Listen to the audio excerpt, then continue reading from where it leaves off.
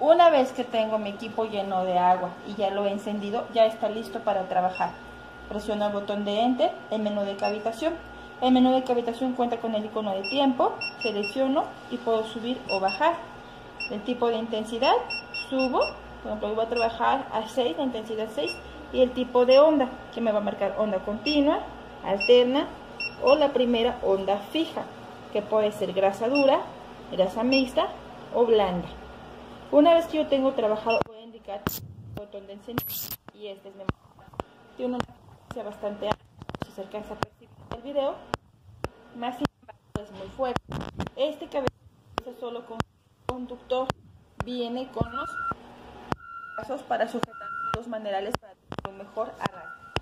Una vez que termino mi sesión de cavitación, yo voy a pausar mi equipo y restablezco los valores.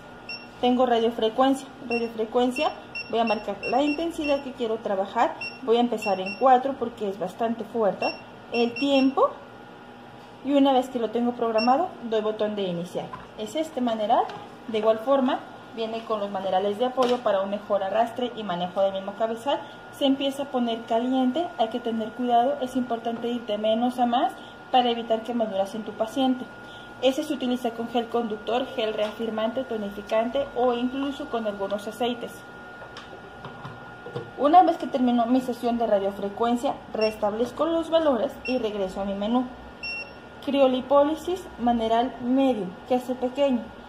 Selecciono tiempo, si lo quiero manejar 30, va a ser el tiempo que va a estar interesado. La intensidad, yo voy a manejar una intensidad 4, esta es la, la intensidad de succión que me va a dar el cabezal. Lo pongo a trabajar y el equipo va a empezar a succionar. Más sin embargo, en la parte de aquí nos vamos a encontrar el tiempo de vacuum y recuperación que nos va a marcar interno. Aquí lo tenemos en el mínimo. Si yo lo selecciono 1, 2, 1.5, va a darme un plus a mi succión porque va a ser aparte de la succión de criolipólisis el drenado.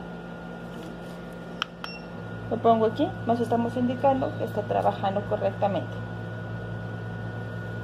Es la misma operación para el otro cabezal. Una vez que yo lo dejo de trabajar, hay que colocarlo correctamente bien. Restablezco los valores iniciales y regreso. Cabezal grande, igual tiempo, la intensidad que yo quiero trabajar en equipo, lo pongo a funcionar. Este es ideal para vientre. Y de la misma forma, aquí nos marca que está trabajando el tiempo de relajación y el evacuo. Esa es una terapia alterna para hacernos un drenado de la grasa que estamos congelando o del tejido adiposo. Si yo lo quiero más intenso, lo voy a cambiar. Subimos al tiempo de relajamiento o de recuperación a 1.5, como te puedes dar cuenta. Cambio, ahí está. Nuestras criolipólisis, tanto la chica como la grande, se tiene que poner en la piel sobre la membrana de criolipólisis. Hay mucha gente que comenta que con glicerina o con gasas con glicerina no se la recomiendo por la vida de los cabezales. Se pueden llegar a dañar o secar.